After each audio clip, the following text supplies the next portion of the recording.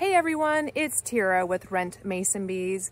Just a couple of days ago, I did a new video, but I was standing under an umbrella answering the questions that I was getting of, my gosh, my bees, it's raining, are they okay?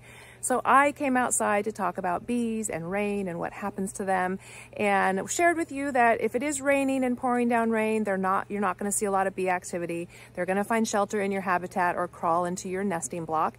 And then I flipped it around and I showed you a whole bunch of bee bums and bee faces poking out. Well, today it's a gorgeous sunny day and I came out to check on my bee house and it is buzzing with activity. So I thought I'd show you um, my bee house on a sunny day. Uh, remember, I released 2,000 bees out here on our property. We have a couple of huge big leaf maples um, that are a big fun source of food for mason bees. So uh, let me flip this around and I'll show you our little bees busy at work. This is what they look like busy, busy bees. As you know, they're gonna find that mud source, which you'll see traces of mud on the bottom of your nesting block or bottom of your um, house. And they're gonna crawl in that hole with that mud and they're gonna cap it with mud. And then mama's gonna go get pollen and lay a pollen loaf and then a tiny egg and then cap that with mud. Well, she'll do that you know, seven, eight, nine times. I uh, did a video of what are your baby bees doing and there were 12 in one of those cells. Well, then they cap it off with mud and that pr protects it from birds and any other predators that might get to it. But these little bees are only gonna live for about six to eight weeks. And then I like to tell the kids at school, they go and find a really pretty flower and they fall asleep forever and ever. They're young kids that I work with sometimes. So, um, but yeah, they only live about six to eight weeks and then those little babies will spin that silk cocoon.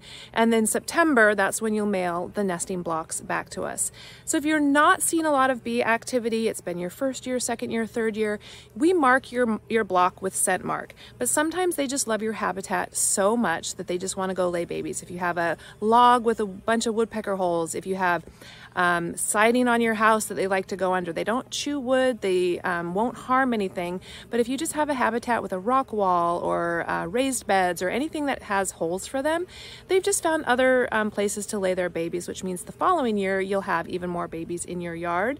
So don't get discouraged. Um, I know a lot of people love having their, to see their mason bees working in their nesting block uh, and don't compete with your family or your friends that, oh, I have two and you have zero and, you know, don't compete. It's not about that. This program is about releasing solitary bees back into our habitat. They're gonna pollinate, they're gonna enrich everything that they touch, and then you're helping your solitary bee population. So um, if you did wanna try the following year, some people move their nesting block and they have better success um, the following year if they move their black house to a different location. Maybe it's a sunnier spot, maybe it's a different source of food. Um, you can't move it now. You have to wait for the new season to do that. You can't move it once it's established. Um, but you know, the big factor in usually all of this is our weather. Our spring weather is always unpredictable. We never know when we release our bees, if it's cold, if it's wet, if it's gonna be rainy or windy. So that's always a big factor on um, bees coming back and bees habit, you know, coming back into your house. Um, oh, I got questions about the, um, the tubes here so I thought I'd answer it on this video. Um, we work with a lot of research teams all across the country. Um, we've shared videos on some of the research studies that, that we've been doing and partnering with. Well, those tubes are UC Davis's research study. Abigail, I'll link the video below.